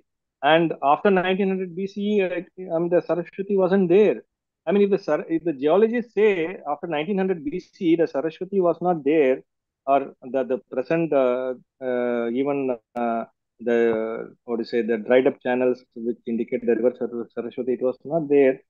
Where do we place this literature? I mean, the literature chronology again it was propagated uh, by by some scholars and later on again I I, I here mention uh, Max Muller who initiated this uh, chronology of 1500 BC for Rig Veda. And towards his uh, uh, end of his lifetime, he proposed a uh, thing that it cannot be dated; it can be much much old, older, right? So if you if you look into the geographical references, if you look into the internal chronologies, if you look into the later period uh, literature, so all this is clearly indicate that uh, we cannot have some definite date for uh, Rig Veda, but not definitely 1500 BC. It was much much earlier. It was it was uh, it belongs to a period when Saraswati was flowing. I mean that is one chronological marker we need to agree. I mean there is no disagreement for that. I mean when the Rig Veda was there, Saraswati was flowing. I mean then and uh, you uh, then dating Saraswati to the uh, evidence, the paleo channels, etc., across the Harappan, and therefore you are, uh, you know, you were saying that there is a way to uh, very clearly date uh, Rig Veda in that sense. Yeah, yeah. But again, I'm I'm not telling that Rigveda can be dated to one particular time period. It it may it might go even much much earlier because there are different uh, historical facets, facets within the Rig Veda. Okay. We can we cannot fix it to okay 2000 BC. No, it can be much much older also because there are many different uh, aspects mentioned in the Rig Veda. So that's what many different scholars also slowly they try to agree, even though there is a rigid uh, another diam- diagrammatically opposite view, uh, Okay. which which also says that okay, I mean it is much much later. Okay. So uh, there is a question from uh, Mr. Bharat. Uh, in fact, two questions where he says, uh, during mature phase of Harappan civilization, uh, did Harappans have any kind of contact with people from south, from Maharashtrian coast to Malabar coast? Second, there are lots of debates going on now regarding arrival of Harappans to South India after its decline. Is that a valid uh, theory? And do we have any solid archaeological evidence? So you see, uh, in terms of uh, procurement of raw materials, the Harappans maximum might have come to uh, Narmada, Narmada mm-hmm. river, like Ratanpur or Rajpipla, what I mentioned. I mean, we don't we don't have at present any evidence to indicate that they uh, they traded or they they they procured raw materials from Maharashtra or the Konkan coast, right? So beyond that, I mean, question doesn't arise. There is no question of any contact with uh, other parts beyond Maharashtra and Konkan because we don't have even evidence for Maharashtra and Konkan. That's what I meant to say. So regarding Harappan connections with uh, South India, I don't know. I mean, it's a, it's a huge uh, uh, theory put forth by a certain set of uh, scholars. But as far as I am concerned, there mm-hmm. is no evidence at all because there's a huge time gap between uh, the Harappan uh, culture and the Sangam age. I mean, we don't have we don't have any material evidence to prove that the Harappans migrated or settled down in into south. I mean, we, then then we need to have archaeological evidence in the intermediary regions. I mean, they did not uh, fly over to South India, right? They should have crossed Maharashtra, Karnataka, southern Karnataka, and ultimately they might have reached the southern part. But we don't have any archaeological site or material culture to prove this kind of migration. There are distinct cultures in Maharashtra, Chalcolithic cultures, which existed even after the demise of the Harappan civilization. The scenario in Karnataka is completely different. They were existing in an agro-pastoral lifestyle, which is very beautifully researched upon by scholars like Professor Paddayya. And we don't have any indications of any kind of connections, any kind of intrusive elements, even from uh, north or east. I mean, I don't know. I don't understand how they could have reached. Okay. Uh, there is a question from MV Bhaskar. Very interesting question. Right? Indus cities were separated by vast distances. What do we know about roads that connected them? Rivers had to be crossed. Do we know of specific points where they were crossed and how? It's it's very difficult to point out where they crossed. I mean, even with the kind of uh, historical evidence like how Alexander came and crossed Satluj to wage a war with Porus, we cannot pinpoint at which point he crossed, right? I mean, a lot of uh, geomorphological changes have taken place. Rivers have changed its course. River Indus, which was flowing once uh, to the uh, west of uh, Mohenjo-daro, it, it's now shifted and it's flowing towards the east of uh, Mohenjo-daro. It's very difficult. But road networks did exist. I mean, it's not that uh, road networks did not exist. I mean, in a way, if you if you trace the Grand Trunk Road of uh, Gangetic Plains, its roots can be traced back to the Mauryan period, right? Mm. So these kind of road networks, uh, uh, which could have been uh, very rudimentary in a very early period, might have developed into a, a, kind of a highway during later later day period. I mean, even today, uh, if you ask uh, uh, people going to pilgrimage, they will always find a shorter route, which was traditional, right? there used to be uh, traditional routes even up to the uh, climbing uh, the Tirumala temple, right? There is a traditional route as well as the modern route. So always the people were knowing the geography when they were communicating with each other and the evidences from the Harappan sites clearly indicate they were using uh, wheeled carriage vehicles. So definitely they were using roads, definitely. Roads means not in the modern context, but definitely which could be very easily uh, communicated by this carriage vehicle driven by uh, the oxens. Yeah, no, no. Specifically, I think his question comes from there are very well defined cities that we have found through excavation over a very large geographical area. And we don't know what existed between these cities. So it sort no, of no, no. we have we have I understood I understood actually. I mean if you take uh, Delhi and uh, Bombay, uh you don't have a Bombay in between, right? right? You have a Jaipur, you have a Ahmedabad. Correct. Similarly, similarly, I mean, I showed the distribution map of the Harappan culture. Mm-hmm. You do have a larger city supported by regional towns Okay. Smaller towns, villages, hamlets, you do have that hierarchy. Every city had uh, had that hierarchy. Okay. Okay. So in which case, the kind of, you know, it doesn't have to be a highway. It could be uh, small roads that are connecting to uh, Absolutely, uh, any of these places. There could be a highway equivalent, and uh, you know, you stayed overnight, you stayed there for a few days, but then eventually from Delhi you do reach Mumbai, and then you ship a lot of items. Yeah, yeah, yeah. Definitely the same kind of network was there. That's how you see in Okay. older times there were very uh, fewer uh, facilities, right? They need to have habitations in between so that they can rest uh, in in between. So that's why even even for the maritime uh, network, we do find settlements at regular intervals. We do have on the northern uh, coast of Kutch, we have Junikurans, we have Lakhpat. On the Karachi coast, we have uh, uh, the the Balakot, we have uh, on the Makran coast, we have sites. So all of all of them they were located at a certain uh, distance, uh, so that the people can travel and they can also uh, rest and they can replenish the resources. That was always there. Okay. Uh, so there are a bunch of questions related to the vehicles, right? There's a question from Tatiana Ruzova. Is what kind of vehicles did the Harappans have? What kind were the ways of connections with other civilizations? I'll just hold. I'll I'll just add uh, two, three more uh, questions, all related to that, and you can uh, take them all together. Uh, Shivram asks, do we have any evidence of chariots and horse rearing in the early Harappan period uh, and sites? Rajiv Lochan uh, connects this to uh, uh, what one would naturally lead this to. Could you throw some light on the Sanauli chariot? Some claim it's a war chariot, while some claim it was a cart because it did not have spoke wheels. And Shivram comes back with this question. Uh, uh, you know, uh, again, his continuation is especially since the understanding is that uh, chariots came from Central Asia. So, how do we resolve the, uh, you know, the vehicle, chariot, horses, uh, Sanauli chariot, and what did the Harappans do?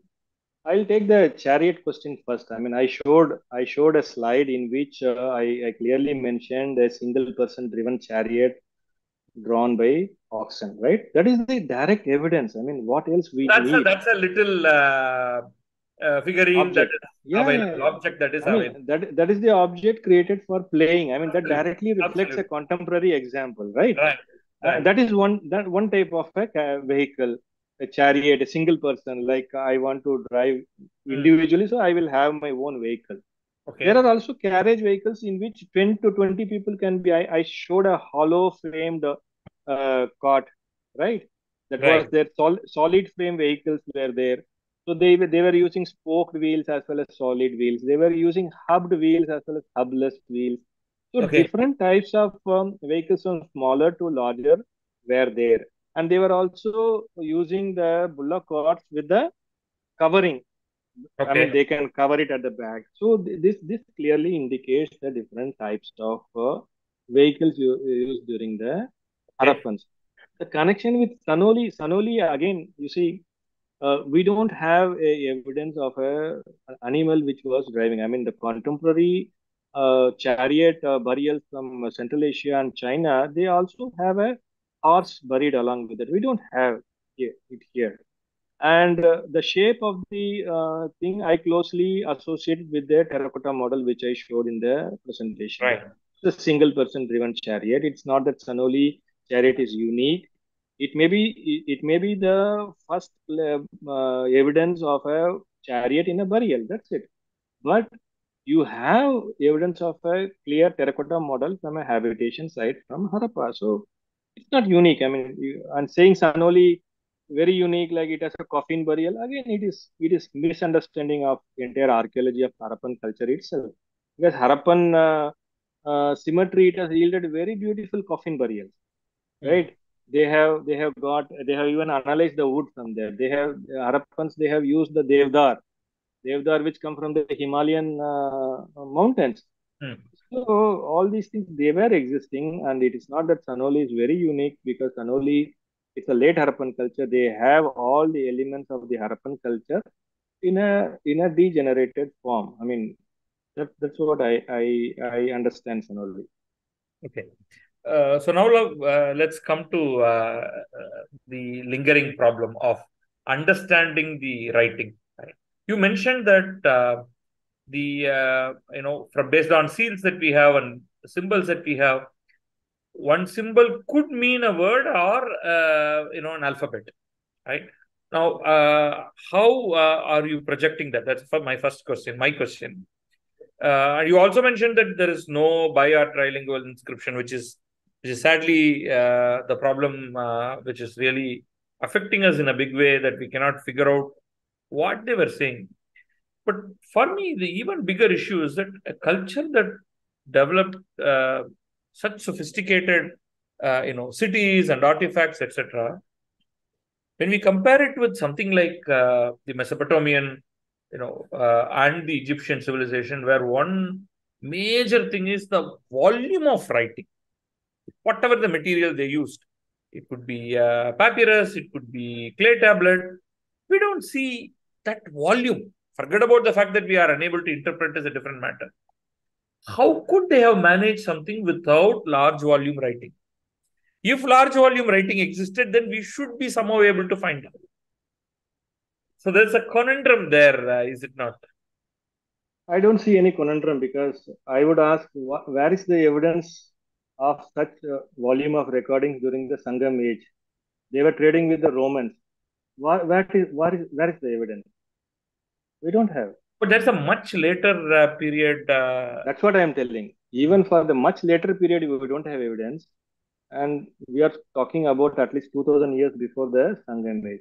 I will come to the question. I mean, why you don't find the volume of written records?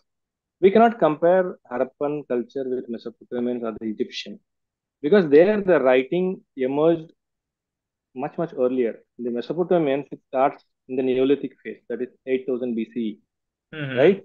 And they were recording each and every object traded upon, right?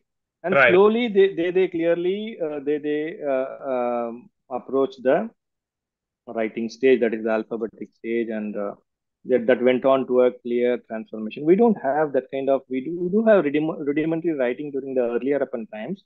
Mm-hmm. But this writing of the Harappan times, it was not meant for recording any trade, any items traded. I showed you examples, at least three examples from the Mesopotamian context and one from the uh, Oman context. Right. And it is the ownership record. You see, I am sending a, a bundle of goods to Mesopotamia, to my agent. I also told you that uh, the Harappans were living in the Mesopotamian cities and three or four generations later, they, they forgot about their uh, antecedents and they were communicating with the local script, okay. right? So my agent is in Ur. Imagine that my agent is in Ur and I am from Dholavira. Hmm. I am sending a huge, uh, the, uh, what is a uh, bundle of goods right. in a ceramic vessel and I'm sealing that, I'm putting my mark. Hmm. Okay. So that my agent can understand okay. what is written is written there. So when it reaches the final destination, my agent alone can open that. No other person can open that because of the identification. Okay. Who is who is sending the material? So that is the purpose. Beyond that, it is not recording any historical event. It is not uh, uh, recording any even items that is being sent no so this is how the limited purpose of a harappan seal so when they were not at all uh, concerned about any other additional information there was no necessity for recording any such things. That's why the volume is very less. Volume is only meant for trade. Volume uh, is only meant to record the ownership record. That's it. Nothing mm. beyond it. So that's why I don't see, uh, I am not surprised uh, because the nature of the Harappan culture is itself is different. And so that's why we see this kind of uh, very uh, fewer number of uh, writing, uh, what is a numerals also, not numerals, writing signs. and they, they were in a stage known as the logosyllabic logosyllabic i mean the the uh, scholars working on the evolution of script they clearly understand that uh, the script starts from pictographic then ideographic then logographic then syllabic mm. then alphabetic So here the Harappan sign is somewhere between logographic and syllabic. So that's why it is known as logosyllabic. So that what does it mean is that the next stage after logographic is the syllabic. There is a drastic reduction of number of signs. Mm. From around 400 signs, it reduces to 120 signs. Okay. Imagine one fourth, nearly one fourth. That was due to the phonetization of the sign. So before syllabic, there was no phonetization. So if you don't have phonetization, you have to have unique symbol for each and every object or an idea, right? Hmm. So that's why the number of sim- uh, signs are more. But once you have reached the stage of phonetization, then you will have only one sign for one phonetic value. Then you remove all the other signs. There is no necessity. And the syllabic is the most recent stage where you will have a, another drastic reduction of number of signs. So that's why scholars, I mean, I'm I'm not an expert in that uh, Harappan script, but scholars who are working on that, they identify it as a logosyllabic, and they say that one sign can either mean a complete word or a single phonetic value because it is a logosyllabic. It, it is approaching the syllabic form of writing. It they have not achieved that. So that's why there is a possibility. Okay. And the lesser number of signs, it is a clear indication that it is not a uh, what is a syllabic or a phonetic, uh, alphabetic form of writing. Okay. Then you need for com- writing a word, you may have you may require three or four signs, right? Right. So Right. Writing a complete sentence, you may have more number of signs. So the, the number of signs in an inscription will increase, but here the number of signs in an inscription maximum is I think 16 or 17. That's it. Beyond that, we don't have. Mm. This is a clear indication that about its nature. Okay. Uh, journalist T.S. Subramanian, he uh, has a question. Can we ever unravel the mystery behind making the stoneware bangles and Ernestite drill bits? Stoneware bangle, as I told you, uh, I mean, uh, Professor Mark Kenoyer is an excellent uh, experimental archaeologist. He has a, he has produced many different objects of the Harappan times. So he Mhm. attempted once for producing the stoneware bangles, but he could not achieve the final that uh, very very lustrous uh, surface. Otherwise, uh, the technology is understood because uh, from Mohenjo-daro, the the complete arrangement is found how they were heating inside a two uh, ceramic vessel arrangement that is known. But how they were actually controlling the temperature how they were actually heating the bangles in a reducing and an oxidizing environment that is Mhm. very difficult to understand because these bangles are found in two different colors. One is uh, from what is happening?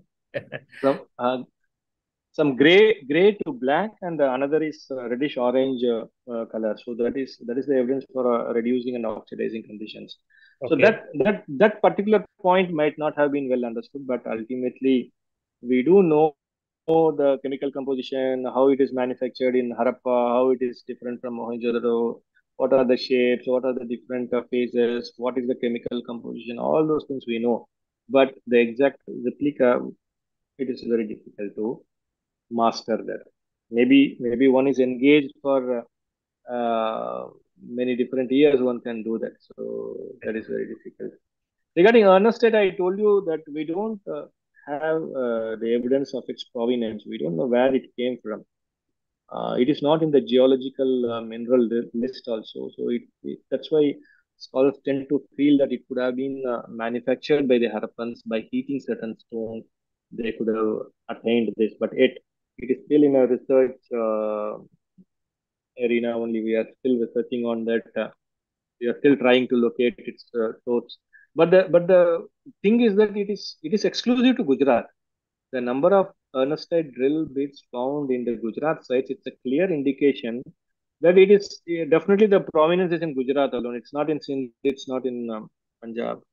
It is only in No, it's, Gujarat. it's more a regional uh, specialty than uh, the yeah, that, uh, that's why that's why the Gujarat Harappans they exemplified in this uh, bead manufacturing because the raw material is local, the ernestite is local, local, and using ernestite was very important because they could perforate in a much limited time when compared to other stones.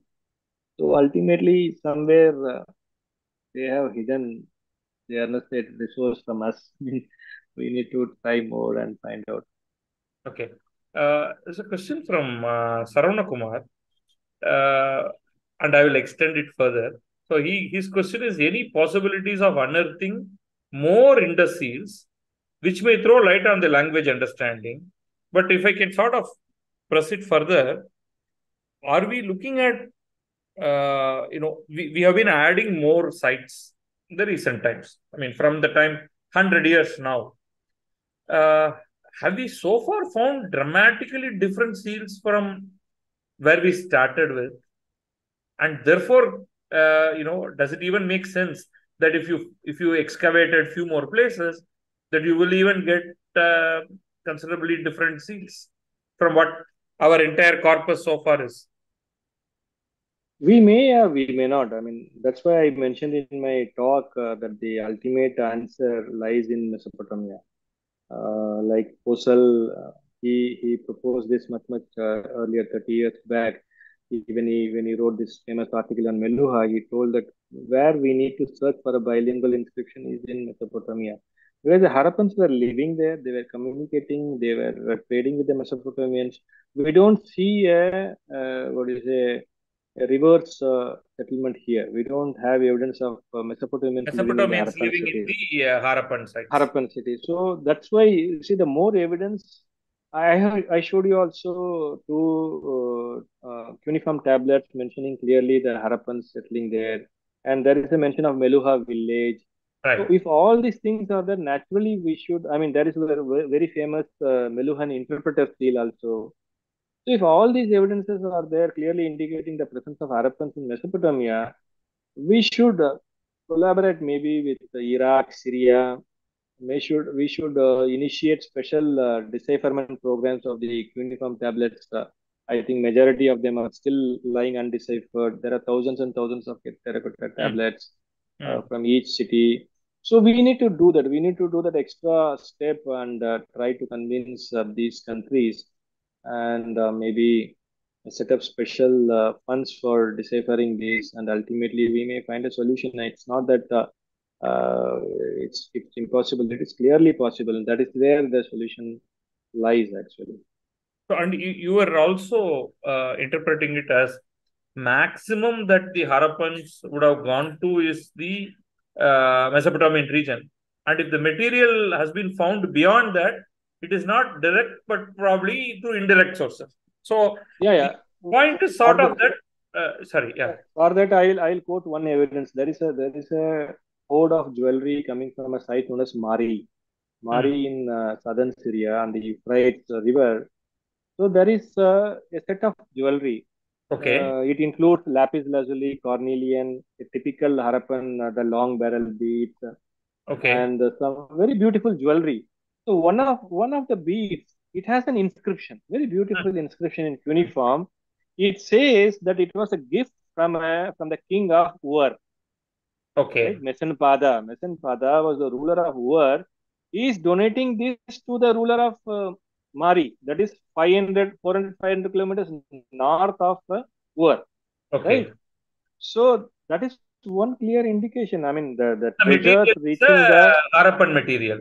So yeah, we are we are we are clearly seeing a Mesopotamian ruler getting hold of a Harappan material, giving it to uh, a Syrian region, modern Syrian region yeah, yeah, uh, rule, uh, possibly a ruler, let's say. Yeah, yeah, yeah. Fantastic. Okay. So that's how it, it might have been traded actually. I mean, we do have evidence. I mean, there is a, this article of Possehl, it, it do points out uh, the presence of even uh, the Kutch region uh, ceramics up to the southern borders of Turkey. But mm. all these things need further investigation. I mean, if the ceramics are there, then ceramics they may not have been traded, or that particular ceramics might have been traded. So what we know at the present state of knowledge is that uh, these jewelry they might have been traded with the southern cities of Mesopotamia, because mm -hmm. the inscription clearly indicate that uh, we don't have any inscriptions from northern Mesopotamia indicating a trade with the Harappans. So all these things put together, uh, what I feel is because Greek, Greek and all uh, uh, one or two Harappan beads reaching there, it may not, might not have been direct trade. And jewelry, this kind of jewelry, it can be retained for a very long period. I mean, we know the tradition of uh, jewelry being passed down from generation to generation. So that could have been uh, passed down from generation to generation, and even it might it might be found even 400, 500 years later also. That that was uh, that is also possible. Okay. Uh, so one uh, final question. Uh, we you know we see from the Mesopotamian records uh, names like Dilmun, Meluhha, and Magan, right? Uh, any other contemporary? See, you also showed with your very first diagram that Egyptians were there. They had a civilization. They had writing. Chinese had certainly enough uh, writing by that time. Sir, any other writing that sort of hints towards the Indian settlements, their names, their culture, or anything else of that period? We are talking 5,000, 6,000, 7,000, 8,000 years. No, we don't have we don't have any other evidence. I mean, apart from the Mesopotamian records, we don't have any other um, written evidence of that particular time period mentioning these regions. Mesopotamians, of course, they, they mention many different regions, even Egyptians and uh, other cultures. Okay. So, in that sense, uh, Mesopotamian uh, material is very unique in that uh, we have to go through their uh, writings very thoroughly, try to get it uh, interpreted, translated, and become sort of a record of the world around that time. Because that's the only thing that covers multiple uh civilizations in some sense. Definitely. I mean, I, I would uh, even dream an Indian team excavating in Mesopotamia. I mean, I don't know. I mean, when that will happen? if an, if, uh, if the an, geopolitical, uh, yeah, if an Indian team etc. Yeah, because we, we do have a lot of uh, connections. I mean, we have connections with the east, eastern part of Iran, the Sistan region. Mm. We are we are closely connected with the Central Asian region. We are connected with Oman, Bahrain, but no Indian team works in these countries, right? I mean, we do find all other scholars, internationally acclaimed scholars, mm. they work in these regions, but not an Indian one Indian team. So that is a very big drawback. I mean, maybe we should have a, a national a national initiative of deputing some senior archaeologists, maybe from Archaeological Survey of India, mm. so that they can take up a project that may not last for, I mean, that may last for decades. I mean, it cannot be achievable in one or two years. I mean, I know Professor Tosi working in Oman since 1960s. Professor Tosi, Dr. Serge Cleuziou, I mean, they did commendable work. They are the people who brought out uh, all the evidences of this uh, in the Indian and uh, Harappan and this Oman connection. So they worked for nearly 30 years, 30 years continuously. But unfortunately, in India, we don't work. I mean, we, we work work in a site for three or four years. That's it. I mean, we are satisfied. We move to some other site. So that's a that's a real drawback. I mean, I, I really dream. I mean, really dream a future Indian archaeology team working in these areas and uh, try to pull out a Harappan jar from from Mesopotamian site. so that will be uh, a discovery of that century. And uh, some magical bilingual uh, tablet. Uh, no, it will come there. I mean, it will be there in Mesopotamia. It will be there. Okay. There will there will be some sort of a treaty, some sort of a, if there is a inscription mentioning a Meluhhan interpreter, right. there should be some treaty, some kind of arrangement between, and it might be lying in one of the archives of Ur, Kish, Nippur, who knows? I mean, it may be still lying there. okay, wonderful. Uh, thank you. I know I would uh, like to end this uh, uh, you know session with this uh, positive note and uh, opening up exciting possibilities for future researchers that you know probably like just like how we have learned so much about India from the Roman and Greek records. Likewise, I think uh, most likely it's the Mesopotamian uh, records that's probably going to tell us a lot about the Harappan uh, civilization. And uh, your, um, uh, you know, uh, wish that there is a large number of Indian researchers from ASI and from various universities collaborating with various other researchers in the uh, that region and from around the world to uh, go more into this. Uh, we hope that happens in the coming decades. Thank you. Thank you for a wonderful lecture with about 100 years of uh, work in this area by uh, various scholars. Uh, it has given us a fairly good insight.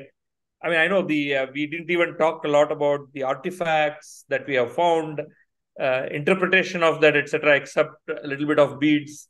Uh, we have not talked about bricks. We have not talked about measures and the uh, you know uh, a nice uh, uh, geometric progression. There's so much to talk about, but I guess you know this this is a very very interesting area, and we in Tamil Heritage Trust we have been we are planning for a much bigger event. So we'll certainly come to you with some ideas on uh, how we can organize that. Uh, we, we really want to understand more about the Harappan civilization to its fullest, to the extent that scholars have already interpreted and understood it. So thank you, thank you for your wonderful lecture, and we hope we can learn more from you and thank various you. scholars of this particular field. Thank you, thank you for giving me a, an opportunity. Thank you. Thank you. Thank you, uh, uh, all the viewers, and we will meet again uh, next month, uh, first Saturday with another lecture. Thank you.